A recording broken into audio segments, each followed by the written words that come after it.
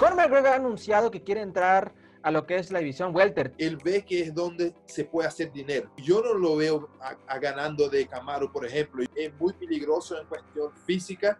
Yo no creo que puede ser tan dominante en esta división. ¿Quién necesita más a quién en este momento? ¿Conor a UFC o UFC necesita más en este momento de Conor McGregor? UFC siempre va a necesitar a Conor. Él sabe muy bien hacer este juego.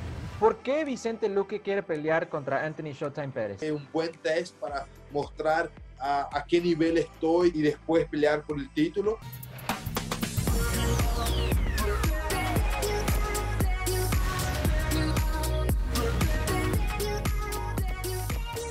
Charlas de cuarentena de ahora o nunca ya comienza a ser Hércules reconocida como, como la casa de UFC en ESPN, ¿no? Es, es, lo, es, lo, que hacemos, es. lo que nos gusta, nos apasiona y hoy estamos muy contentos de recibir a uno de los grandes exponentes de UFC en este momento. Viene de derrotar en un combate eh, espectacular a Nico Price. Creo que UFC es muy visual y ese combate tuvo muchos elementos visuales. mucha sangre. Vicente Luque está con nosotros, señoras y señores. Vicente, bienvenido al programa. Gracias por estar con nosotros. Me acuerdo que platiqué contigo en un Instagram Live en la cuenta de ESPN Deportes hace, antes de ese combate y te veías muy seguro, te veías muy, muy satisfecho con tu preparación. El resultado creo que lo tuvimos todos a la vista. ¿Cuáles fueron tus principales conclusiones después de derrotar otra vez a Nico Price? Eh, primero, muchas gracias por la invitación. Y yo no sé, la pelea fue como me gustaría. Yo, yo quería terminarla antes. Yo creo que fue, se demoró un poco, pero Nico era muy resistente, tenía mucho corazón, entonces vino con todo. Pero yo creo que eso fue más especial todavía porque hizo la pelea ser una de las mejores de la noche. Sin duda. Entonces yo estaba muy bien preparado, eh, peleé los tres rounds bien, me sentía muy bien. Eh, el entrenamiento fue diferente por todo lo que está pasando, pero igual llegué muy bien, estaba, estaba confiante para esta pelea y salió todo como quería. Al final conseguí el, el golpe con la izquierda y de ahí se terminó la pelea y, y fue perfecto para mí. Esa cartelera fue una de las mejores del año de lo que es no solamente en lo que fue dentro del octágono de las grandes peleas, pero también en pay-per-views. Creo que 700 este, mil pay-per-views en lo que era eh, aquí en Estados Unidos, algo maravilloso para eh, no solamente lo que sé, pero ESPN, entonces gracias. Pero te quiero preguntar, este, ¿qué tan diferente era, porque era la el primer evento deportivo en todo el país durante una pandemia? ¿Qué tan diferente fue uno, pelear sin aficionados. Dos, escuchar los comentaristas como DC y Joe Rogan. Y tres, saber que estás peleando durante una pandemia. Fue, fue diferente, pero no tanto, porque nosotros como peleadores siempre tenemos desafíos, siempre tenemos algo que, que es fuera del normal. Entonces eso era más un desafío. Entonces, para mí, volver eh, el UFC en medio después de la de todo eso que está pasando. Ser el primero deporte a volver fue un honor, fue muy bueno poder entretener a las personas eh, en todas en sus casas. No tener las, los fanáticos en la arena fue diferente. Eso para mí me encanta escuchar las personas, hasta que sean contra, contra mí, también me gusta porque me da más ganas para pelear, pero igual, no había eso pero creo que eso también hizo la pelea ser más impresionante, porque además todo el, ritmo que tuvimos, se escuchaban todos los golpes, se escucha diferente sin, sin, los fanáticos. Entonces eso yo creo que fue eh, positivo de una manera para que los fanáticos eh, puedan tener un, una visión más real de, de, lo que estamos haciendo.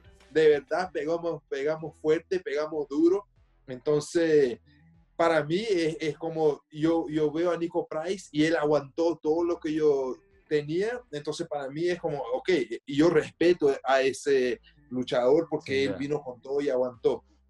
Entonces yo creo que fue, fue muy especial, sí es, es difícil porque estábamos volviendo con todo, eh, todos no sabíamos cómo sería porque era el primer evento, pero al momento que estaba pasando y después que todo pasó, para mí fue perfecto. UFC tomó todas las, las eh, todos para tenerlo seguro.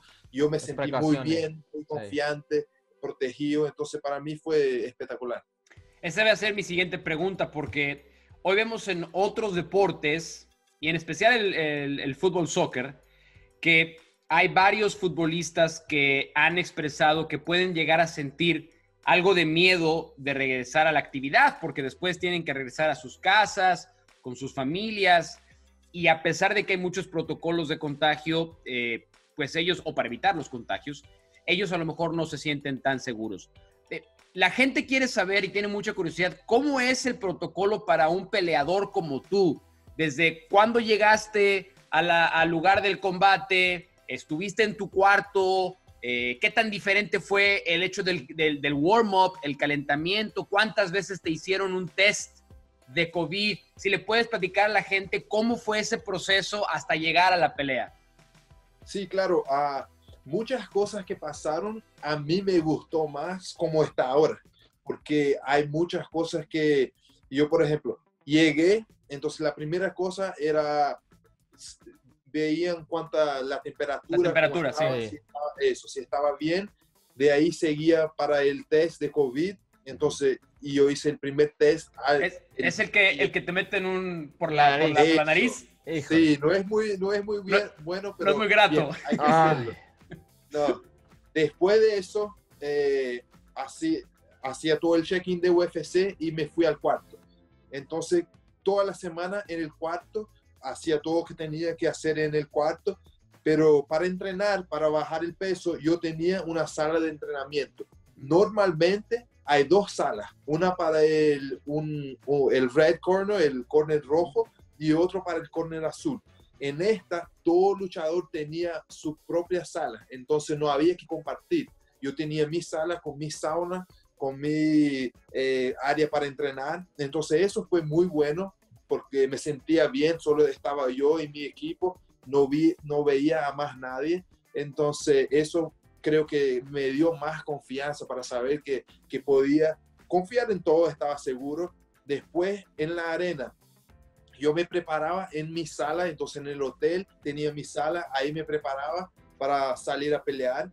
Cuando salíamos como más o menos una hora, una hora media antes de la pelea, llegábamos a la, a la arena eh, hacía la mano, ponía la, la, ropa para calentar y empezaba el calentamiento. De nuevo, en una sala solo para mí, solo, donde yo me calentaba y todo.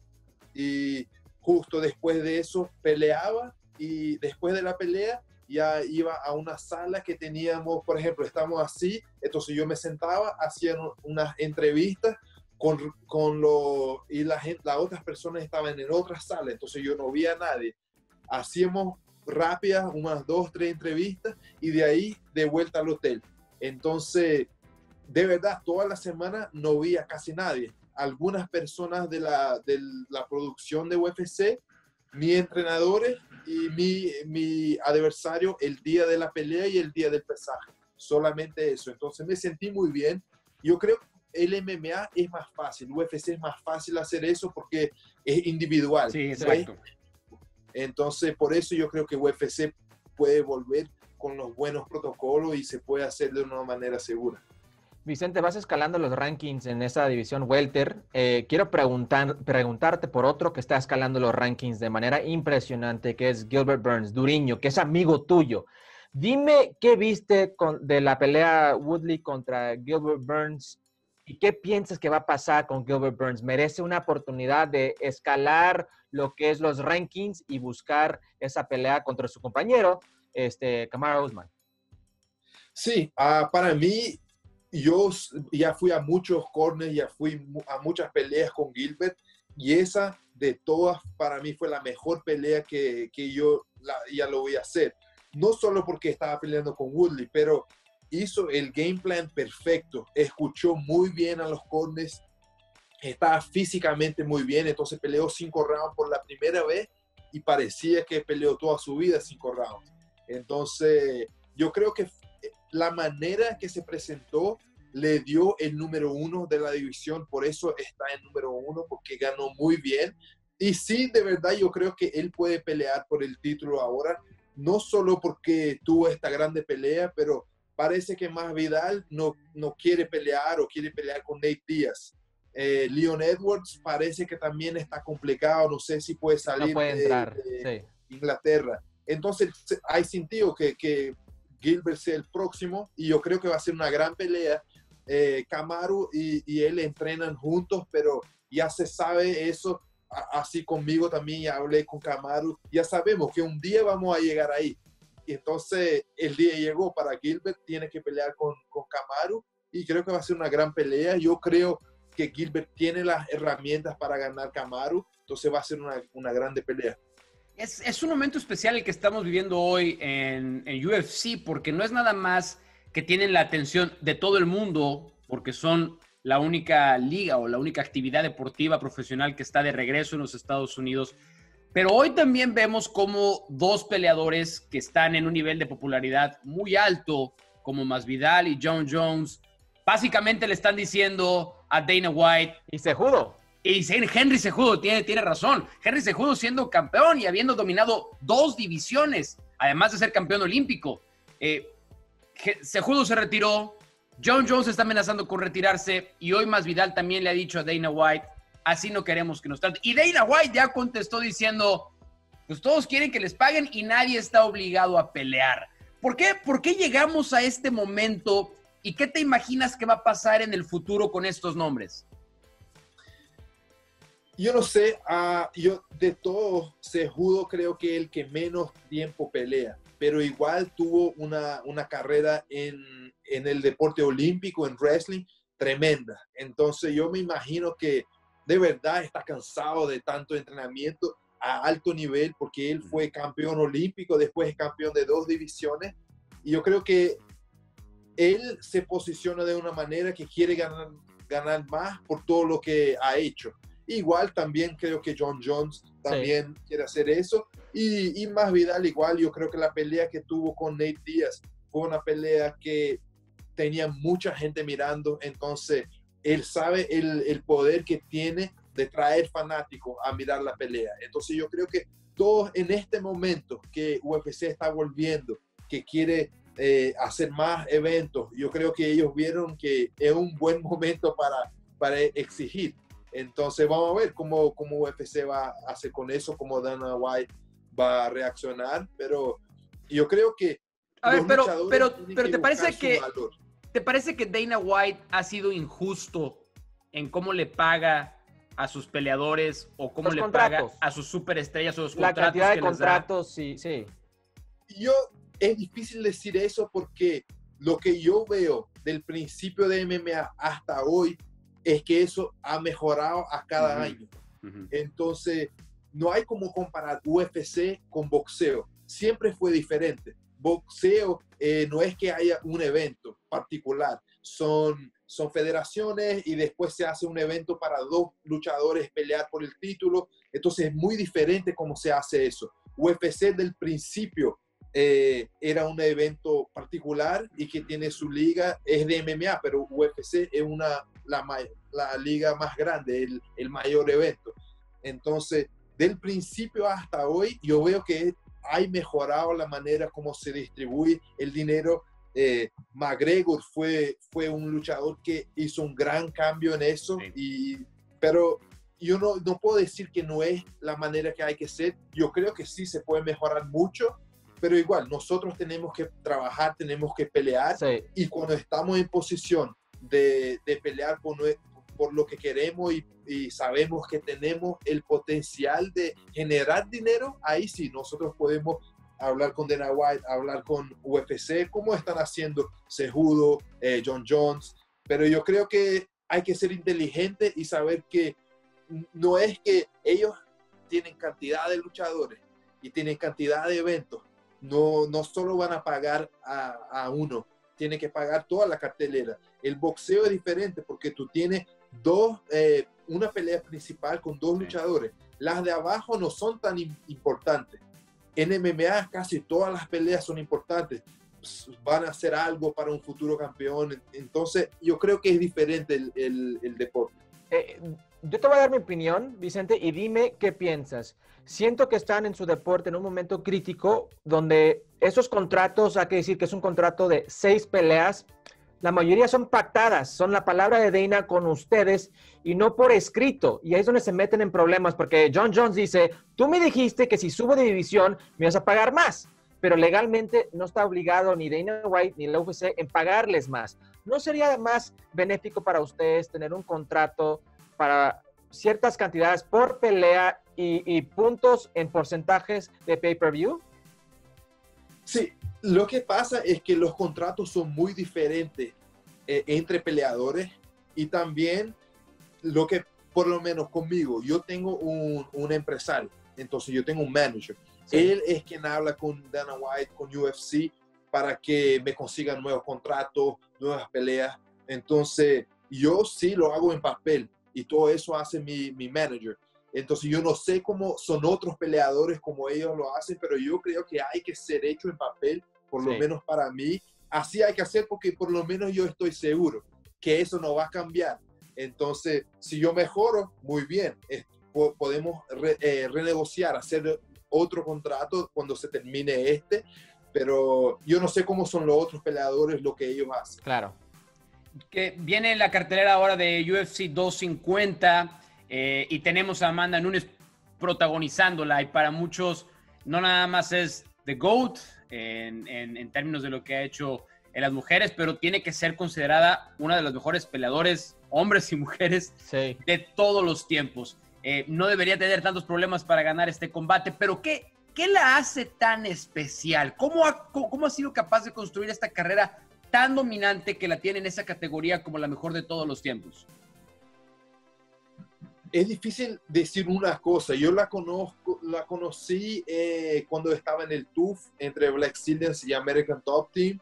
Entonces, antes que fuera, que fuera la campeona y todo, pero ella es tremenda persona y entrena demasiado. Entonces lo que más le gusta hacer es entrenar, eh, hacerse mejor a cada pelea. Entonces eso es, lo que yo creo que la hace tan dominante. Ella siempre cambia. Cuando empezó, ella era muy buena en Jiu-Jitsu, tenía un poco de wrestling y eso trabajaba.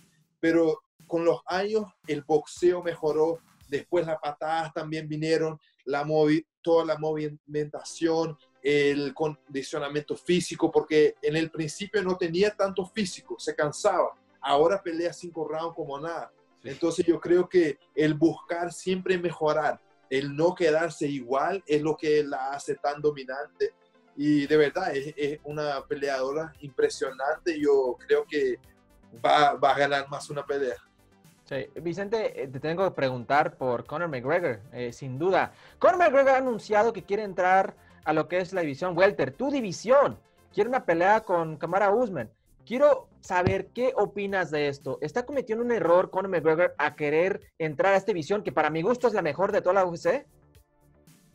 Yo, es difícil porque yo creo que lo que él piensa, él ve que es donde se puede hacer dinero, porque muchos ojos están ahí hay Gilbert, hay Kamaru, hay más Vidal, Nate Díaz peleó con más Vidal. Covington. Todos están en esa división ahora. Entonces yo creo que eh, Conor ve dinero, ve que puede hacer una gran pelea. No creo que yo no lo veo a, ganando de Kamaru, por ejemplo. Yo creo que Kamaru es muy fuerte, eh, es completo, tiene un buen striking, pero tiene un wrestling. en la lona, olvídese. Entonces, es, es, peligroso, sí, para Conor McGregor, es muy peligroso en cuestión física. Yo no creo que puede ser tan dominante en esta división, pero... A ver, Vicente, te voy a dar unos nombres, unos nombres de la división. Nomás sí o no, dime si Conor McGregor les gana, ¿ok? Kamara Usman. No. Tyron Woodley. No creo, no. Leon Edwards. No. Kobe Covington. No. Jorge Masvidal. No. Duriño. No. Vicente Luque. Tampoco. ok, nada que hacer entonces. no, yo creo que, por ejemplo, una, dos peleas, Chiesa y, y Pettis son dos nombres que yo creo que podría ser una pelea más tranquila.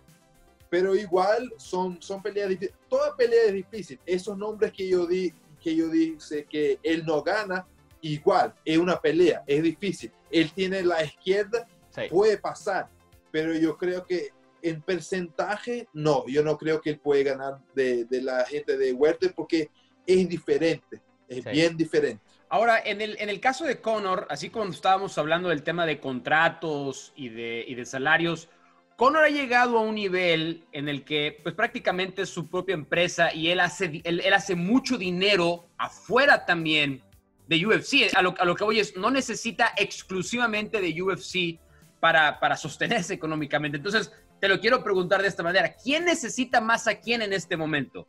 ¿Conor a UFC o UFC necesita más en este momento de Conor McGregor? Y eso es lo que creo que el mejor que Conor hizo.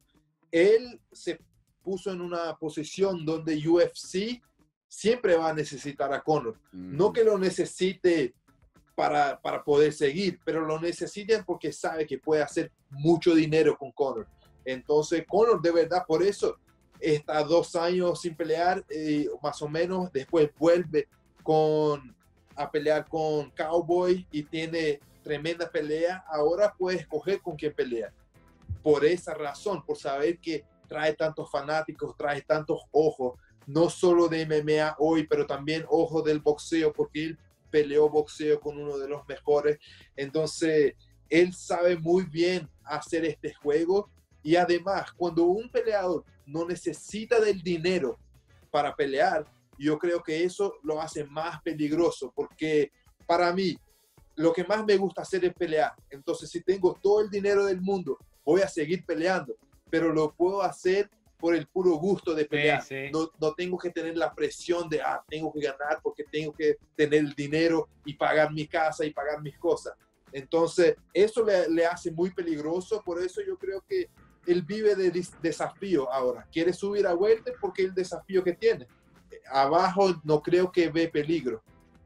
Eh, ¿Por qué Vicente Luque quiere pelear contra Anthony Showtime Pérez? Yo creo que es una gran pelea para los fanáticos. Yo soy un striker, él es un striker también, entonces ese estilo me gusta mucho. A mí me encanta traer buenas peleas para los fanáticos. Y además, él fue campeón yo creo que un buen test para mostrar a, qué nivel estoy, que estoy llegando a este nivel, que puedo pelear con, con la gente que ya fue campeón y después pelear por el título. Entonces, en todos los sentidos, yo creo que es bueno para mí y para los fanáticos. Antes, antes de, la, de la derrota contra, contra Steven Thompson, tenías una racha de siete victorias seguidas. Y creo que mucha gente en UFC te veía escalando posiciones en el ranking y por eso era muy importante no nada más que, volvieras a ganarle a Nico Price, sino cómo le ganaste además a Nico Price. ¿En dónde, en dónde está, en dónde se ve hoy Vicente Luque en el ranking y, y qué crees que tenga que pasar para que tengas una posibilidad de llegar a esa parte más alta del ranking y tener una oportunidad de pelear por un título eventualmente? Yo creo que hoy ahora estoy en número 13, creo. Sí, sí. Y es una cuestión de buenas peleas con las personas correctas y ganar bien. Eso es, yo puedo hablar mucho, lo que sea, todos pueden hablar, pero lo que, lo que cambia es lo que vamos a hacer adentro del, del octágono. Entonces, si tengo las buenas peleas, por ejemplo, Petty, yo creo que es tremenda pelea y lo gano de una manera dominante, de una manera como, como me gusta hacer. Yo creo que eso me pone adentro de los 10, peleando con alguien en, el, en los 10, de ahí puedo subir bien. Entonces, yo me imagino, en el mejor escenario, si todo sale muy bien, tres peleas a cuatro me puedo posicionar para un, un futuro título o algo así. Sí, sin duda, porque si estás entre los primeros siete de esa división, tienes un caso legítimo de pelear contra el champ, sin duda. antes de terminar, eh, conocemos de Vicente Luque, eh, el gran este, peleador de UFC, pero quiero saber de Vicente Luque, el chef. ¿Ahora estás haciendo panes naturales fermentados? ¿Qué, qué está pasando aquí? Sí, eso empezó ah, el año pasado. siempre me gusta cocinar mucho. Yo siempre de chico cociné porque mi mamá trabajaba todo el día. Entonces yo estaba solo en la casa, yo hacía cosas para comer y todo, siempre estuve haciendo eso y me gustó. Entonces siempre estoy cocinando y panes de, de fermentación natural es algo que me gustaba mucho. El sabor es diferente de un pan regular. Entonces, no sé, me, me, vino el desafío, yo empecé a mirar videos de cómo se hace, hay que tener el, el levain, que es la, el, el, fermento, hay que cuidarlo y todo. Me, me, gustó el desafío, empecé a hacerlo y salió bien. Yo, yo aprendí bien, entonces pensé, voy a seguir haciendo eso, me encanta. ¿Sabes qué, Ma? Un día vamos a invitarte al estudio y nos vas a hacer algo, por favor.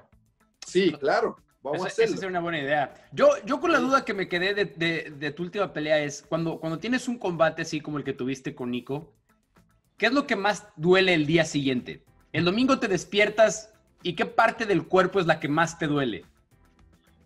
¿La mano? La mano duele. Sí, la, eso los duele pies, ¿no? Las piernas. Lo que más duele son los pies, porque cuando tiramos patadas, a veces eh, el pie se, se, pega en la rodilla, porque el otro pone la defensa, sí. y eso duele harto. Al momento no tanto, pero una, dos, tres veces se suman y el próximo día duele harto. Entonces los pies creo que es lo que más duele. Es, es que es, es, es, curioso cómo cambia de deporte a deporte, porque se lo he preguntado a distintos deportistas y se lo preguntas a un jugador de básquetbol, te dice que las rodillas, sí. a un jugador de sí. fútbol americano, te dice que las caderas es lo que más le duele al día siguiente. A los, a los futbolistas Hércules profesionales, ¿qué era lo que más les, les dolía a ustedes? Los pies igual, de tanto correr. Sí, sí. ah, mi última pregunta, y creo que tocaste un poco de esto, Vicente, es, hablabas de la importancia en cómo gana uno. Creo que es evidente, por ejemplo, en un peleador como Justin Gaethje, que sí, tal vez peleaba de una forma muy loca por decir, porque iba siempre al frente, pero le gustó tanto la gente que fue avanzando y avanzando los rankings y se le dio su oportunidad. ¿Crees que es más importante la forma en tu pelea que el mismo resultado hoy en día en la UFC? Yo creo que hay que, ten, hay que haber un equilibrio. Por ejemplo, Justin Gaethje siempre fue a ganar con todo. Eh, a veces no resultó tan bien, pero igual eh, él sabía volver al gimnasio mejorar los errores y, y, volver mejor. Por ejemplo, para mí la pelea con Ferguson fue tremenda. Increíble. Muy diferente del Justin antiguo. Más inteligente. Que él aprendió con, la, con las peleas que, que perdió. Pero igual, porque perdía de una manera que fue una gran pelea también, perdía, pero seguía con, eh, creciendo con su nombre ahí.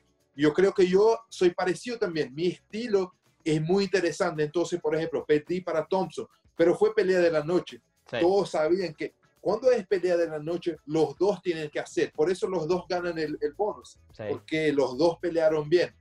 Entonces, si tú peleas bien, si tienes una buena presentación, hasta que no sea eh, la victoria, todos van a saber tu nombre, todos te van a estar mirando. Entonces, hay que, hay que tener un equilibrio, tenemos que ganar eh, por supuesto, pero si uno pierde poniendo una gran pelea, no es tan malo. Entonces puede mejorar y ganar la próxima y seguir hasta el título.